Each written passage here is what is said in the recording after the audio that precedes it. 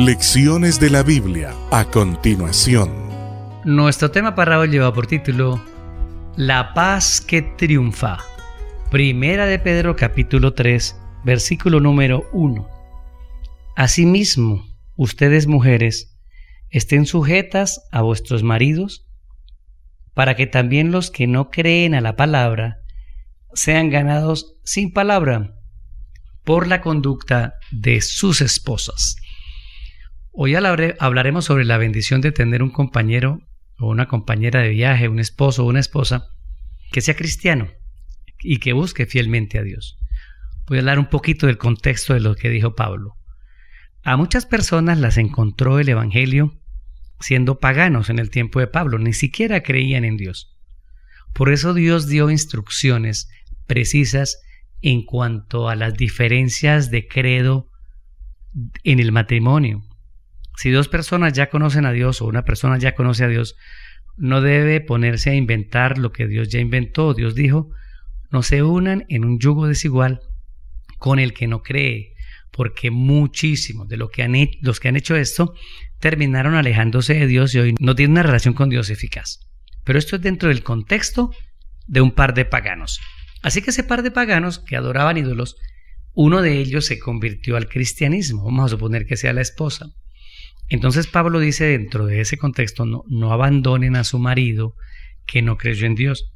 Antes siga adelante, ore por él. Ahora, dice, si su marido, que es pagano, la abandona, pues ya usted quedó libre para separarse.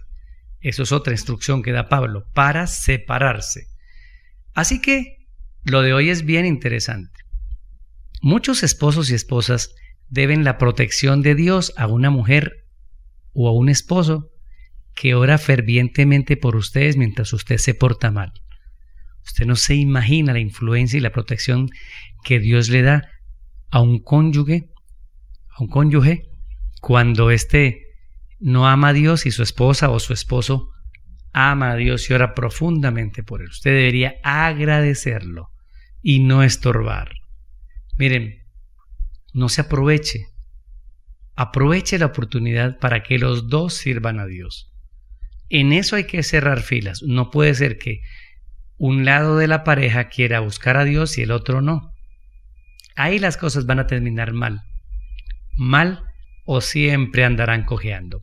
Así que por favor aprovechen la oportunidad. Únanse en esta decisión. Si tienen que ser unidos para manejar las crisis familiares, eh, la educación de los hijos o, la economía del hogar, mucho más tienen que unirse en lo que es la parte espiritual de su familia. Así que hagan un espacio en sus vidas. Hagan un espacio para que Dios esté con usted. Se lo aseguro. Usted lo va a agradecer porque las parejas que yo conozco que buscan a Dios y hacen ese espacio que se llama un culto familiar, que es un momento en el cual la familia lee una historia bíblica, oran y se acuestan o, o, en cualquier momento del día. Pero si le dan ese espacio a Dios, la paz de Dios va a triunfar en sus familias. Ahora, la sumisión tiene limitaciones.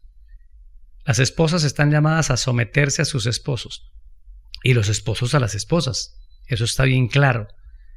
Pero esa sumisión tiene limitaciones. Cuando mi esposa me pide a mí que yo me someta a ella en algo que Dios no autoriza, primero está Dios. Primero está el obedecerle a Dios con cariño, con prudencia, pero primero está Dios. Y por favor, respete las decisiones espirituales de su pareja, las decisiones de buscar al Señor.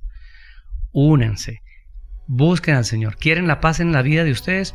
Los dos tienen que hacer esfuerzos enormes por buscar a Dios cada día en el culto familiar. Soy Daniel Herrera y deseo para todos un día lleno de bendiciones.